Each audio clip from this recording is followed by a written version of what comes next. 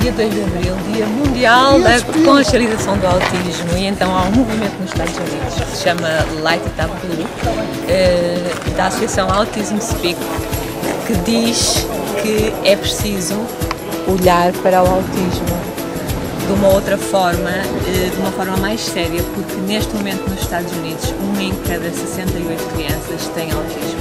Eu sou mãe de um menino com autismo com 18 anos neste momento e em colaboração com o Mário Pardo, com a Skydive Europe, decidimos também nos juntarmos ao movimento Light It Up para mostrar ao mundo eh, que o autismo existe e que é preciso fazer qualquer coisa. Nelson, conta-me como é que foi a tua primeira vez, meu. Foi. Eu estava ali a trocar experiências com o pessoal e tentar viver aquele momento, mas não há forma de, de o fazer. É só experimentando é que, que as pessoas podem saber como é que, que é sentir esta emoção, este, aquela adrenalina.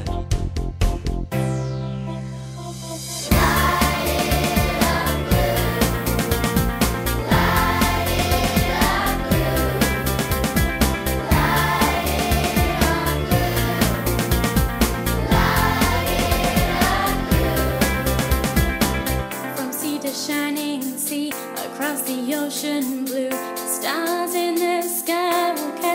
special